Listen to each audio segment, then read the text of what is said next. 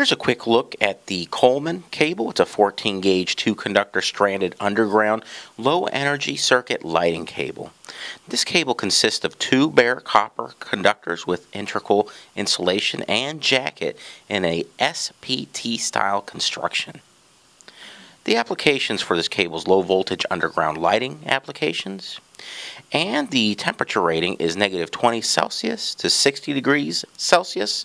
And the operating voltage is 30 volt max. For more detailed spec sheet and the order online, visit discountlowvoltage.com.